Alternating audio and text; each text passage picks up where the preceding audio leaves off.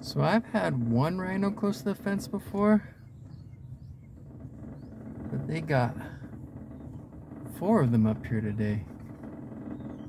It's pretty cool.